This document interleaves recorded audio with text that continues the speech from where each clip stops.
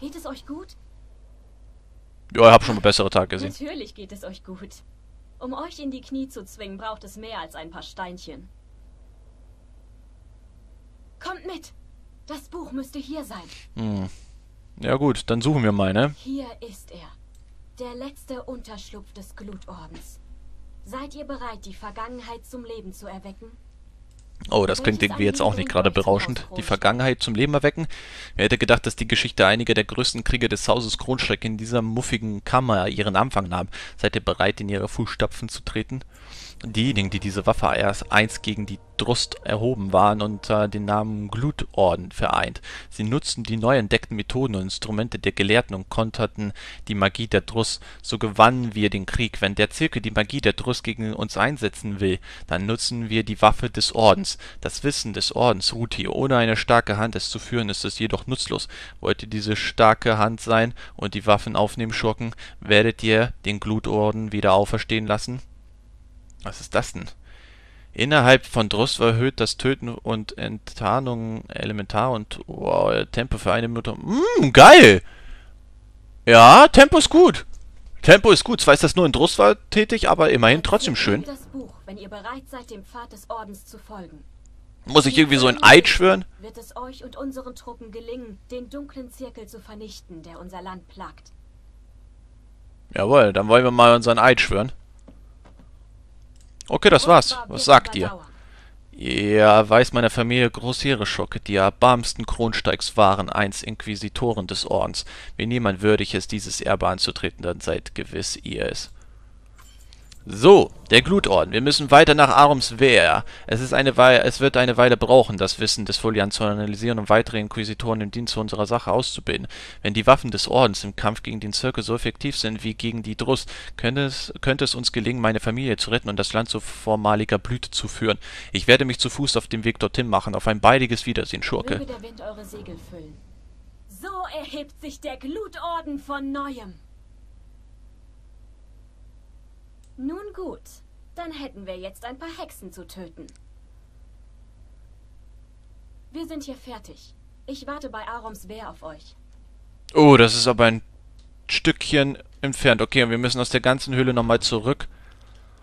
Okay, ich dachte, es gibt hier vielleicht so einen Notausgang, aber scheinbar gibt es den nicht. Das haben, tja, alle Leute, sie haben zwar so einen geheimen Untergrund mit einem geheimen Wissen eingebaut, aber so einen Notfall, Notfallausgang für den Fall, dass hier vielleicht irgendwas einstürzen sollte. So schlau waren sie leider nicht mehr. Dafür hat leider das Wissen nicht mehr gereicht. Ja, das sind ja mal sehr tolle Menschen in Norden. Kein Wunder, dass, es, dass die meisten Leute hier gestorben sind. Also, wer solch, wer so schlau ist, der ist auf jeden Fall durchaus würdig, diese, diesen Orden zu führen.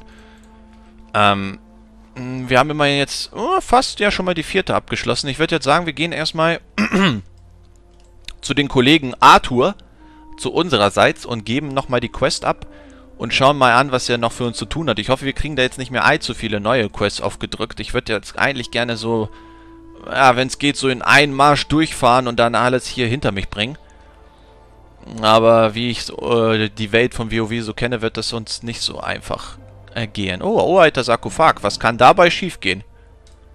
So, machen wir mal das Ding hier auf. Was haben wir hier so schönes? Gold! Oh, rachsüchtige Untote gerade zwei von denen. Ich, wir haben ja mal darüber gesprochen. Zwei sind für mich ein bisschen schon zu viel des Guten. Also da, da sieht man das schon. Die hauen mir einfach die Fresse weg. Und wenn jetzt gleich, also solange es jetzt nicht so ein Survival-Kampf ist wie gerade eben da, was wir da mal hatten bei einer der Kisten, ist alles gut. Wenn es nur die zwei wegpusten ist, dann ist das easy. Dann kriegen wir das noch locker hin. So, ah, da haben wir schon das Tempo. Tempo plus zwei. Ich meine, das ist gut für uns. Dann ist die Taktrate unserer Gifte deutlich schneller. Oh ja, ja genau, das hatte ich, davor hatte ich Schiss gehabt. Fuck. Oh nein, nein, nein, nein, nein, nein, nein, nein, nein, nein, nein. Das kann noch sehr, sehr ungünstig für uns werden. Ich meine, noch halten wir uns ziemlich gut und ich muss, glaube ich, einen Trin schon mal einsetzen. Mir ein bisschen Leben wieder an, anbauen, aber das ist jedenfalls kacke. Das ist ja fast schlimmer als ein Ramob. Da kämpfe ich ja lieber gegen einen Ramob als gegen drei Einzelgegner. Ich hoffe mal, das reicht jetzt auch langsam mal. Und das hier, und hoffentlich kommt jetzt nicht noch mehr. Sonst haben wir ein Pro... Oh, nein. Euer Ernst? Warte, da müssen wir einen erstmal hier mit Blenden raushauen. Das wird mir sonst ein bisschen zu viel. Wir haben schon fast alles wieder benutzt, was wir haben. Alter, die sind... Die wollen mich doch verarschen, ey. Und dann noch mit der beschissenen Skalierung. Oh, also wenn man nicht gerade sich selber heilen kann oder gut Schaden drückt, dann hat man hier wirklich große Probleme am Stecken. So, weg mit ihm und jetzt noch eben schnell den hier wegholen, wenn wir schon mal dabei sind. Das hat eigentlich ganz gut funktioniert hier, einen nach den anderen auszuschalten. Oh, nervig, nervig. Ich hoffe, die patchen das so schnell wie möglich. Ich meine, für mich wäre das scheißegal, aber ich hoffe mal für euch Leute, die gerade, die vielleicht twinken oder noch am Leveln sind und das ähnlich so wie ich, ein bisschen langsam angehen lassen, dass ihr auch mal die Möglichkeit habt, hier vernünftig zu questen und nicht gleich direkt von drei Mobs umgehauen zu werden. Kann ich also gut durchaus nachvollziehen, warum einige Schurken sagen, dass es ab einem gewissen Level ziemlich schwierig für uns wird. Hey, Arioche, hier drüben. Schön, dass ihr es geschafft habt, Arioche. Sagt Bescheid, wenn ihr bereit seid. Dann bringe ich euch hoch zu Ulfa. Gut, bring mich mal hoch. Was auch immer das hoch bedeutet. Ey, geil! Ich kann auf ihn aufsatteln. Nice. Ist ja sehr schön. Ufer kann ein strenger Lehrer sein, aber er ist immer gerecht. Das Gute ist, die Kultiraner, äh, er und die anderen haben mich immer unterstützt, seitdem ich in jungen Jahren den Ruf vernahm. Also die, das ist, das sind so die Druidengestalten, mit denen wir so arbeiten können, wenn wir später Kultiraner dann spielen. Meine Eltern wollen, was? Meine Eltern wollen, dass ich zur See fahre. Könnt ihr euch das vorstellen? Ich nicht. Ich habe hier meine Wurzeln, versteht ihr? Na gut. Er war nicht so irregeistreich, aber wir sind jetzt da. Sonderlieferung für euch. Ja, geil, der erinnert mich so ein bisschen echt an mich. Ja, aber das sind so die ganzen Formen, mit denen, äh, wenn man dann später einen Kultiraner Druiden spielt und in die Druidenform wechselt, das sind so die Formen, die man dann so serviert bekommt. Die sehen ziemlich geil aus. Sehr, sehr so eine Mischung aus Holz. Also sehr holzig. Holzi, Holzi, Holz. Aber, schön, was ist das denn? Ah, Geheimnishüterin des Waldes. Mhm. Ihr habt den anderen auch schon mal getroffen. Seid ihr ein Druide? Ah, ich, ich wusste es doch. So, was habt ihr denn da, Festländer? Ah, verstehe. Meine Schüler haben es mit stärkeren Bedrohungen zu tun bekommen als erwartet. Danke, dass ihr ihnen geholfen habt. Immerhin! Immerhin keine Folgequest, nur abgeben, gleich direkt Azerit-Fragmente einsammeln und dann wieder zurück. Schön. Schön. Könnte ich mir durchaus vorstellen, wenn man dann später einen Kultiraner hochlevelt. Also das Geile ist ja wenigstens, dass es mindestens ansatzweise eine Sache, mit der man äh, sich arrangieren kann. Viele wollten ja, dass die, dass jedes verbündete Volk sein eigenes Startgebiet hat. Sprich, du, du stellst dir dann beispielsweise einen Kultiraner, fängst von Level 1 an und dann levelst du dich so in diesen kleinen Gebieten äh, oder in den kleinen Anfangsgebiet, was dann Blizzard extra für die verbündeten Völker gebaut haben, äh, dann bis Level 20 oder was auch immer um dann in die weite, weite Welt hinauszugehen. Aber das haben sie ja leider nicht gemacht. Das heißt, wenn man zum Beispiel, wie ich, einen Lernelf erstellt hat, startet man direkt ab 20. Also schon so aus dem Startgebiet heraus. Und ich denke mal, das könnte durchaus bei den Kultiranern durchaus das Startgebiet sein, dass wir dann dort oben anfangen, wenn wir einen Druiden spielen. Wobei eigentlich, ah nein, das macht eigentlich gar keinen Sinn, ne? Weil wenn man eine andere Klasse spielt, wo würde man dann starten? Okay, vergiss, was ich gesagt habe, aber ich könnte mir durchaus vorstellen, dass das so das Lager der Druiden ist, wenn man Kultiraner Druide ist. So. So rum macht das jetzt dann doch mehr Sinn. Steckbrief. Die Kronstreik, äh, die Kron, äh, Kronstreikwache bietet eine Belohnung für jeden Jäger, dem es gelingt, die Frostjägerin in der Umgebung des Hochwegpasses aufzuspüren und zu eliminieren. Bei der Verfolgung ist größte Vorsicht geboten. Sie ist eine wilde Bestie, die schon erfahrene Jäger in den Hinterhalt gelockt hat. Äh, wo ist denn das Viech? Das ist eher die Frage, die ich mir stellen müsste. Weil, äh, was? Ach, man muss sie suchen sogar noch. Ach, da ist sie doch. Perfekt, und sogar alleine. Das müsste, ich, ich wollte gerade sagen, wenn sie Hilfe bekommt, haben wir ein Problem. Aber alleine müssten wir sie hinbekommen. Ich meine, das haben wir auch mit den anderen auch noch gerade so gut hinbekommen. Also ich, ich bin mal guter Dinge, dass wir das auch hier schaffen sollten gleich direkt die Fujole benutzen. Je öfter wir sie benutzen, umso sicherer sind wir hier. So, das kann man kicken. Ja, das geht. Das geht. Das ist im Vergleich zu dem, gegen den wir gekämpft haben, etwas einfacher. So, dann gehen wir mal in den Drin gleich direkt rein. Je öfter wir Fähigkeiten benutzen, umso besser. Also man kann hier durchaus noch das ein oder andere lernen, wie man hier mit, äh, mit solchen Quests zurechtkommt. Man muss nur einigermaßen wissen, wie man seine Ressourcen am besten einsetzt. So, gleich direkt auch mal trinken. Oh, oh, oh, oh. Jetzt, jetzt fängt er an, ein bisschen durchzudrehen. Gut, da gebe ich mal einen Nierenhieb drauf, um mich mal ein bisschen zu regenerieren. Ich meine, ich habe noch meine äh, Mittel und Wege, wie ich ihn hier noch äh, klein bekomme. Sollte es so sein, dass er mich ein bisschen mit dem Damage überflügelt. Aber ich denke mal, ich schaffe es noch mindestens... Oh, fuck.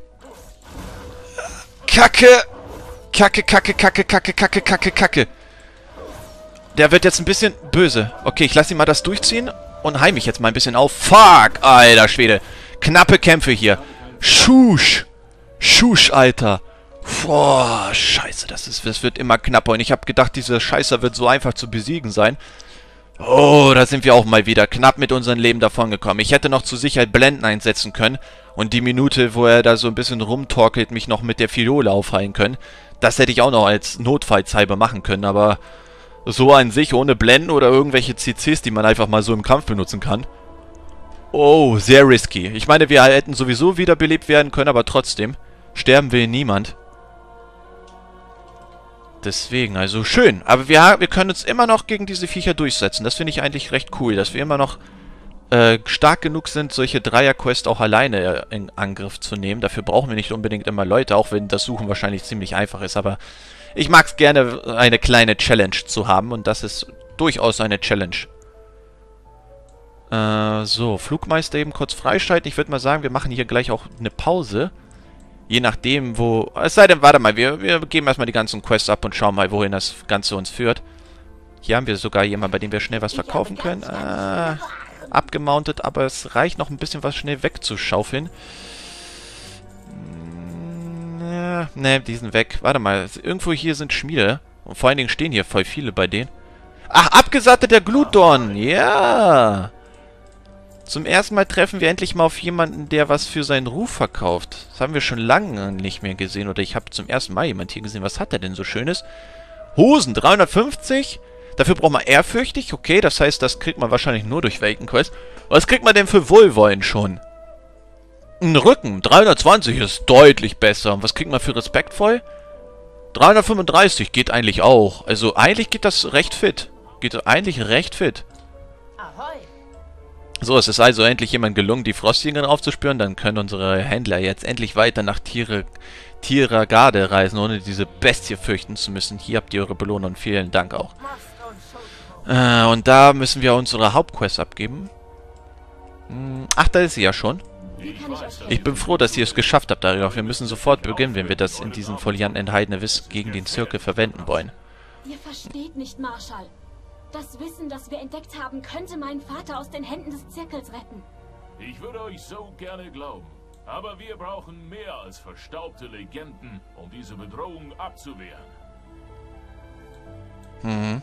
Ich respektiere zwar die Arbeit, die man beim Schreiben dieses Folianten geleistet hat, aber das Ding liest sich wie eine technische Gebrauchsanleitung für Belagerungsmaschinen. Ich werde eine Weile brauchen, um dieses Werk zu lesen und vielleicht etwas Nützliches darin zu finden und ich könnte etwas Hilfe dabei brauchen, wenn es euch nichts ausmacht. Zunächst wäre etwas mehr Licht hier drin sehr hilfreich. Um dem Haus Kronstein. Hier steht, der Orden hätte besondere Waffen eingesetzt, um die dunkle Magie der Drust zu kontern.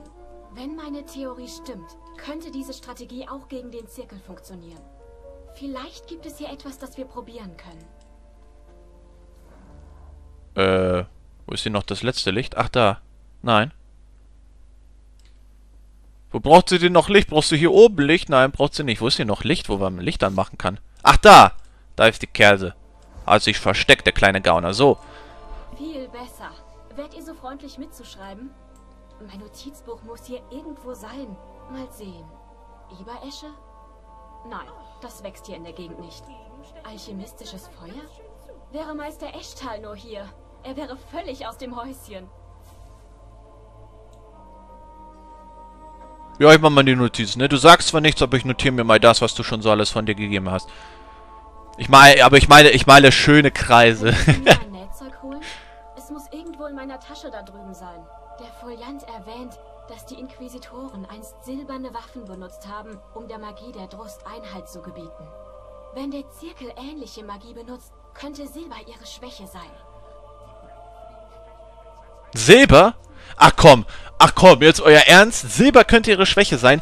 Oh, jetzt, jetzt wollt ihr mich verarschen. Jetzt, jetzt fehlt wirklich nur noch der Hexer Ger Geraldo oder Geralt, eine Anspielung auf den Hexer Geralt und das Ganze wäre komplett. Ich hoffe, ey, weh, es gibt diese Anspielung nicht. Ich, ich mache da eine Petition auf das Blizzard mal bitte so eine Anspielung auf The Witcher mal machen soll. Das kann ja nicht sein. Wir sind hier in so einem Hexengebiet und da wird nicht mal einmal eine kleine Anspielung auf, auf The Witcher gemacht. Ta.